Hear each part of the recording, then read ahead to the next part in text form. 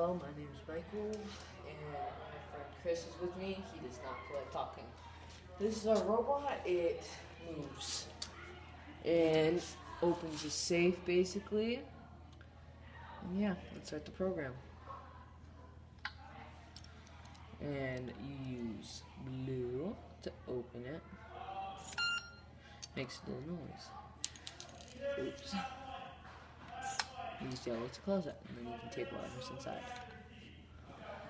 And the programming, we had to make it so with color sensors. Color sensors.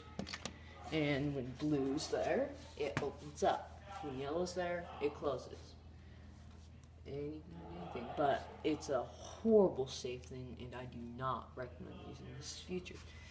The program just consists of a few things, just color sensors, medium motor, and noise. That is all.